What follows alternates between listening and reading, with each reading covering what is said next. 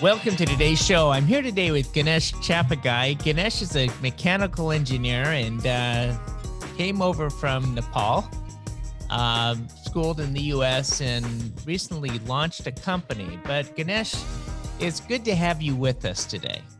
Thank you, Alan. Thanks for having me. So, Ganesh, uh, for the listeners, can you kind of, I, I gave a brief overview, but can you give a more in-depth overview of your your pathway in life, of what brought you up to where you are today? Absolutely, absolutely. So, Alan, I grew up in Nepal, a few hours out, outside of capital city Kathmandu. Uh, I, I, was born and raised there. I, I grew up uh, in a small farm. So my my grandfather he he farmed there, uh, and and my, my, parents did that as well, uh, including my uncles and my extended family. I grew up in this big family, uh, and early on I I learned the importance of work ethic and hard work uh, growing up uh, in, in a farm. Uh, so, but I was always good with math and science, and I was, I was a good student growing up. Um, and I, I ended up coming to the United States for college.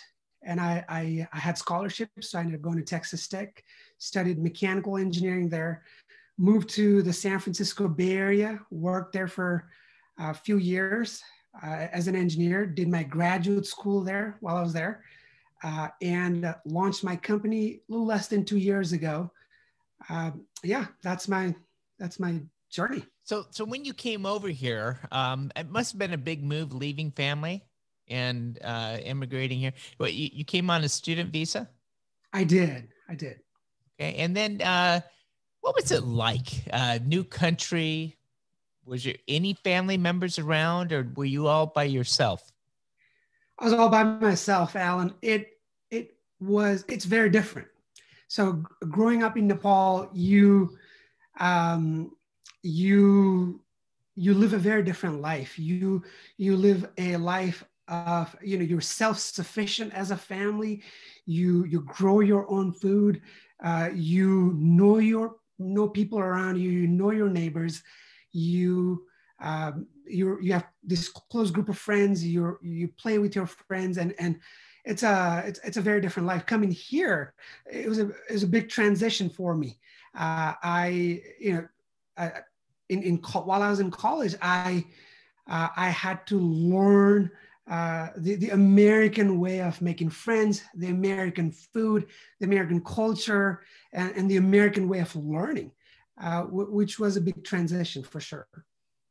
Huge changes there. And then uh, after a short stint on working for somebody else, you launched out, set up your own company, Aoka. Aoka is, uh, how, how did that name come about, by the way? That's a good question. Yes. So Aoka, the name comes from this ferocious fighter in the East, okay. Asoka. I wanted to name the company after him who was not just a ferocious fighter, but he, uh, a- after 40 years of his life, he ended up uh, starting this path of spirituality and impacted lives of millions of people. And and obviously I couldn't get the domain name Asoka, so I ended up dropping the S and took Aoka. So, so uh, getting the company going, uh, what was the inspiration for it? Sure. So I was in Western United States building data center for Facebook. Uh, and while I was doing that, uh, I was in this small town called Eagle Mountain in Utah. And as soon as the, the, the town found out that Facebook was building this massive data center, they saw this huge influx of people wanting to build homes, start businesses in in that small city.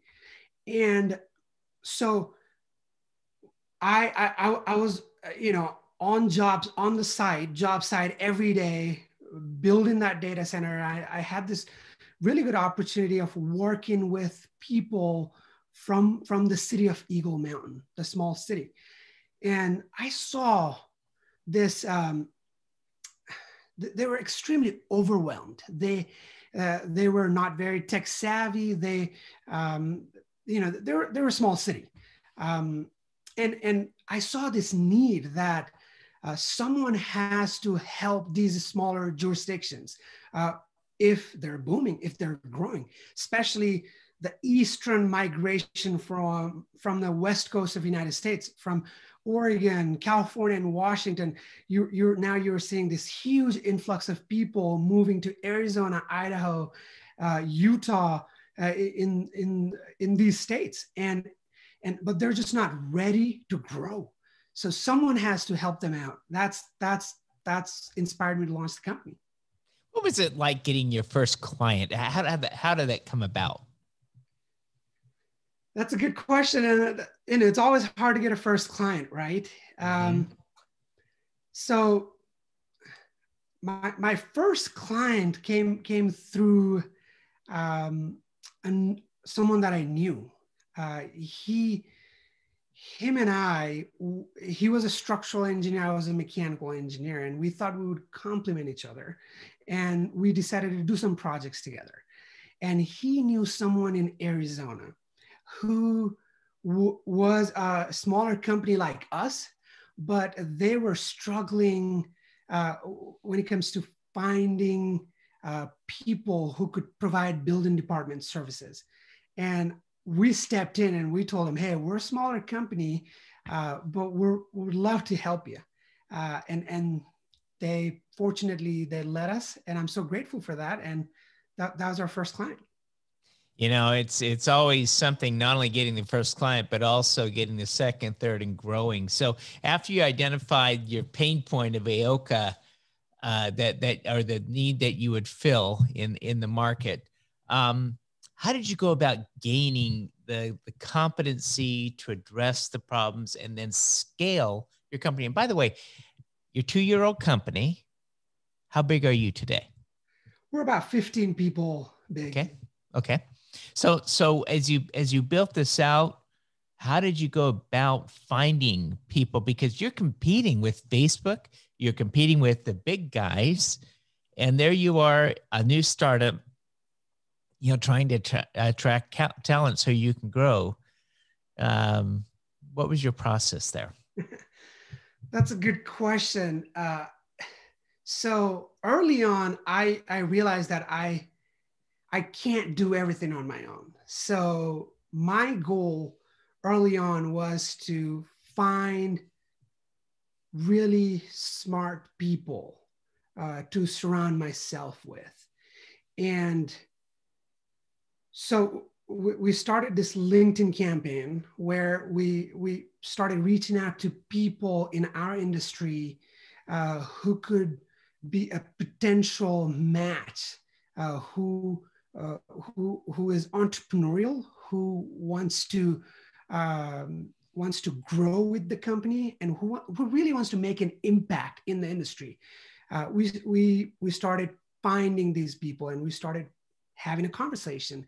And if that was a good match, if we both felt like uh, our why in, in life matched, then we would uh, work together. That's that's our hiring process. I'm still heavily involved, and I hope to be heavily involved in the hiring process for another few years. You know, the the startup companies are exactly that. You're you're continually growing, you're continually scaling, continually adjusting. So let's talk about where you're at after two years, uh, types of services that you're now able to offer with your 15 engineers.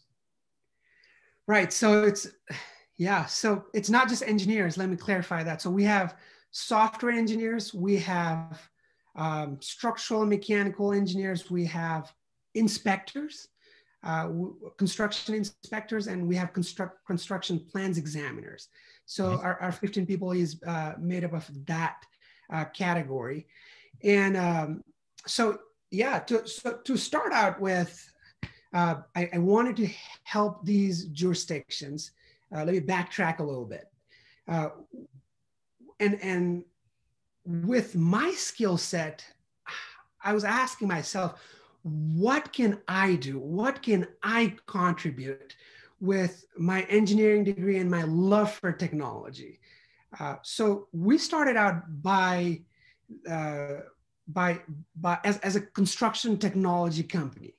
Uh, our, our goal was to help, uh, or still is to help, uh, smaller jurisdictions like less than 10,000 people. Uh, we, we, we, built this software, we call it plan review software. Our software is called Vertex Plans.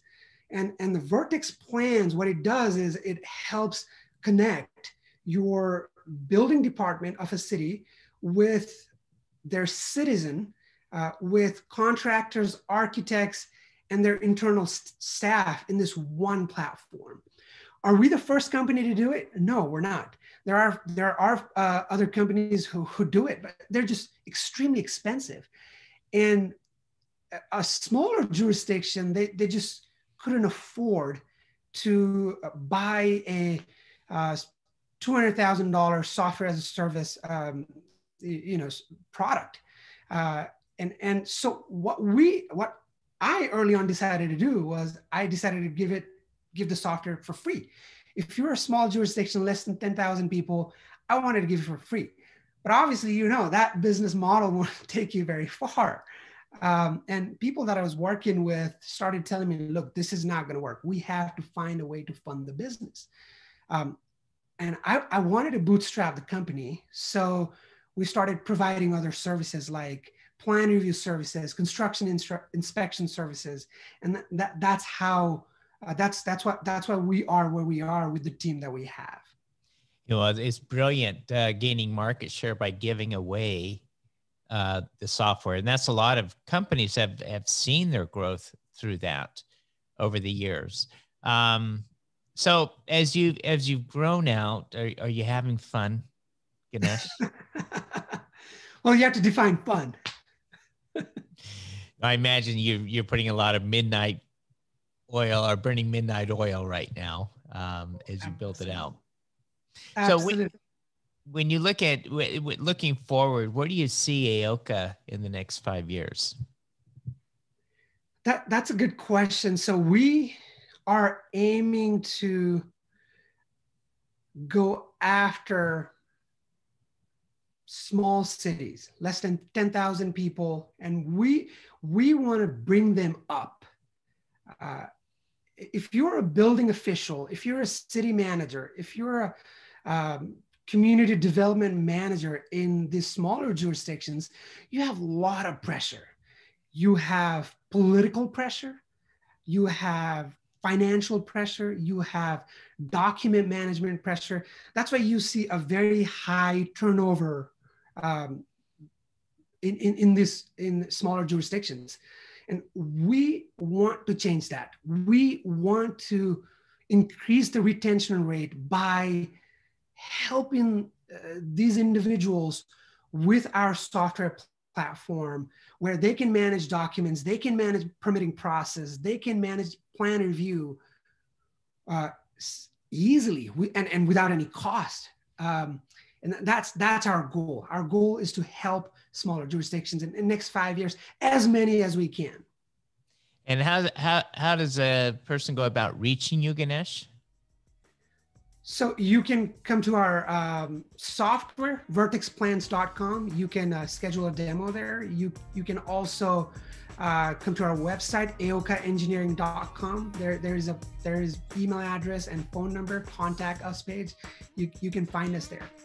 Okay, very good. Well, Ganesh, it's a pleasure having you with us today. I've I've been visiting here today with Ganesh Chapagain, and uh, best wishes to you in the future of AOKA.